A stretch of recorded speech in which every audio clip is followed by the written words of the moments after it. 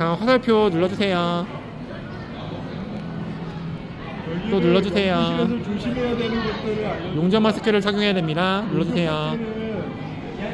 자, 로봇이 임무를 수행하다 두 팔을 다쳤어요. 용접해서 로봇의 팔을 고쳐주세요.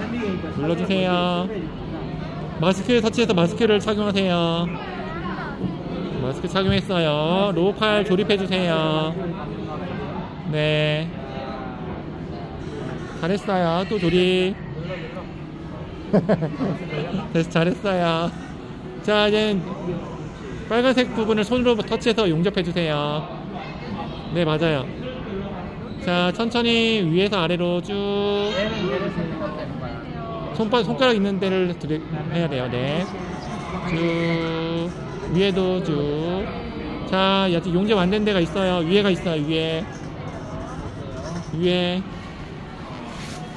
자, 여기 이 부분인데 여기를 해야 돼요. 네. 됐습니다. 확인.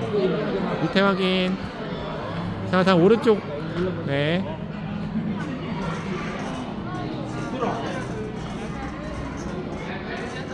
어, 100% 완료. 확인 눌러주세요.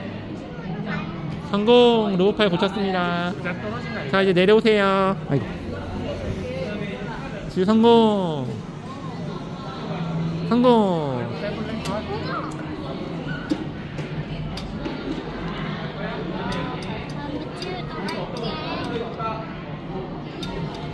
확인 눌러주세요. 확인, 확인. 아빠 뭐 다른 거 어. 제가 우리 형하고 같이 가자. 아, 오.